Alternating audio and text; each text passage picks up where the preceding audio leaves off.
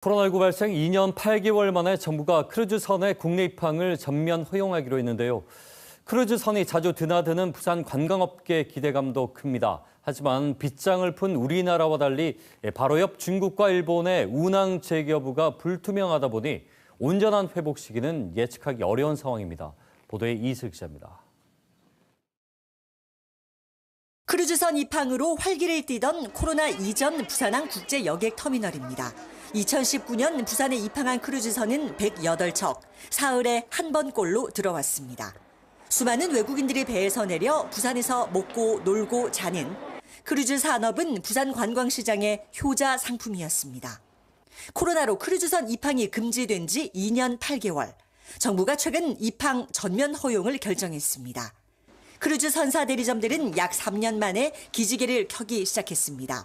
코로나 시기에 새롭게 생긴 까다로운 입국 절차들이 선박 입항에 걸림돌이 되지 않도록 세관 등 관련 기관들과 실무적 논의를 이어가고 있습니다. 추가적인 제도들로 인해서 기항 시간이 줄어들게 된다면 기존의 크루즈에 대한 매력이 사라지겠죠. 어, 승객들이 한국에 와서 최대한 많은 시간을 보낼 수 있도록 그런 제반적인 절차를 최소화하는 게 저희들의 역할 중에 하나고요. 하지만 완전 정상화 시기는 예측이 어렵습니다.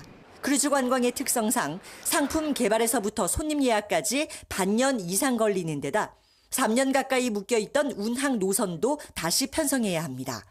더군다나 부산 크루즈 관광의 80% 이상을 차지하는 양대 큰손, 일본과 중국의 운항 재개 시점이 여전히 불투명합니다.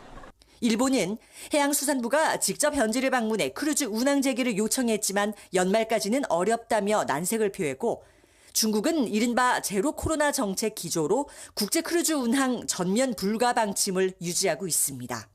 다만 타이완이 크루즈 운항 재개에 들어가고 홍콩 역시 재개를 앞두고 있어서 항만 당국은 본격적으로 선사 유치 작업을 준비하고 있습니다.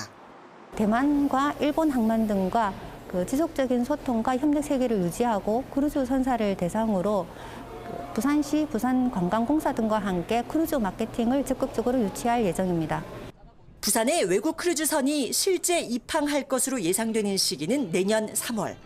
주변국들의 상황에 따라 크루즈 시장이 온전히 회복되기까지는 적잖은 시일이 걸릴 전망입니다. KBS 뉴스 이이슬입니다.